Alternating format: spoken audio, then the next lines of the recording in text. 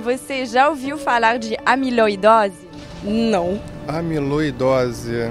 Não. Mas nunca tinha ouvido falar. Amiloidose? Amiloidose? Não. Não. Amiloidose, eu acho que é um componente do milho, não é? Um, uma sacarose, alguma coisa do gênero? Não, não é. Olha, nunca é uma palavra muito complicada. Pelo nome parece ser algum tipo de problema de saúde.